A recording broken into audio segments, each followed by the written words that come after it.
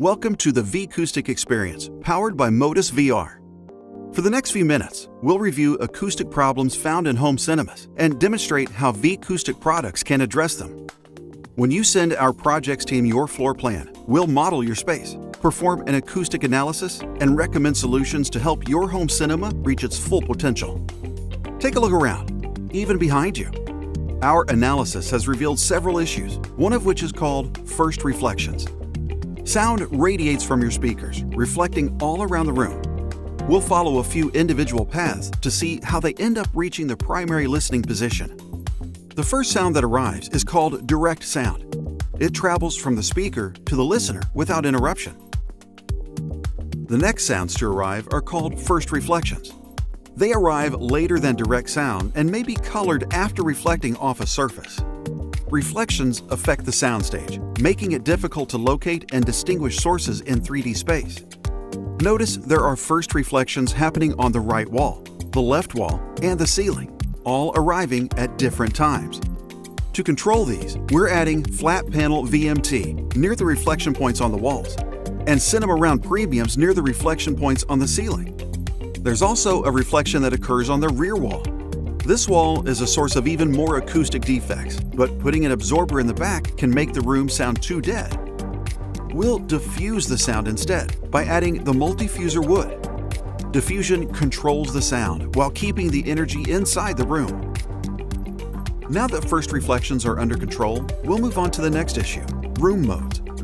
Room modes are a significant anomaly in home cinemas typically occurring below 200 Hz. These happen when a sound's frequency matches the room's resonant frequency. This wave represents the first mode along the width of the room and it occurs near 34 Hz. If you're sitting in a peak, this frequency will seem too loud, and if you're sitting in a valley, this frequency will seem too quiet. There's another mode, around 68 Hz, that follows a different pattern. Room modes also occur along the length of the room, in this case at 22 Hz. In fact, there are many more modes affecting low-frequency performance, causing it to sound different at each seat in the room.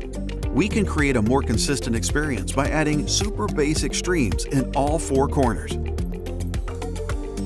Now that we have a more uniform bass response, it's time to address our final issue, reverberation.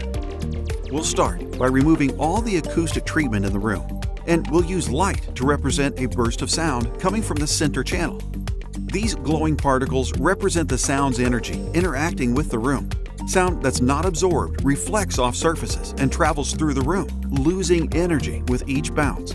This lingering sound is called reverberation, and it often makes it difficult to understand the film's dialogue. Red particles indicate they've been around too long and are hurting audio clarity. Let's bring back our room treatment and add more cinema rounds to the ceiling. We're also adding more flat panel VMT throughout the room. Not only are these a less expensive alternative to a stretched fabric solution, they can be printed with any custom design to create a unique aesthetic. Finally, to prevent the room from sounding too dead and to give the room a greater sense of spaciousness, we'll add multifuser DC2s to the ceiling and multifuser woods to the sides of the room. With full acoustic treatment installed, let's see how the room performs this time. As you can see, the reverberation in this room is now tightly controlled We've also addressed our first reflections, tamed troublesome room modes, and added to the room's aesthetic along the way. The Vicoustic Projects team has also put together an alternate solution for the same space. It gives us a completely different look with the same great performance. Vicoustic offers many other products, styles, and colors to meet any budget and aesthetic. In this demo, we've covered how first reflections, room modes, and reverberation can negatively impact the experience in your home cinema you're invited to take a copy of our white paper, which goes deeper into these concepts and proposed solutions. We hope you've enjoyed our demo